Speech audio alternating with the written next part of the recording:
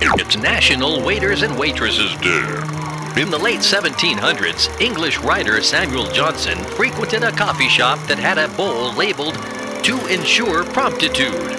So he and other guests would put a coin into the bowl to receive better service.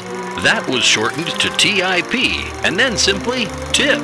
So don't forget to ensure promptitude and celebrate Waiters and Waitresses Day. Oops, instead of a tip, one of Sarah's customers thought he would show his appreciation by patting her on the rear end. She did not appreciate that very much.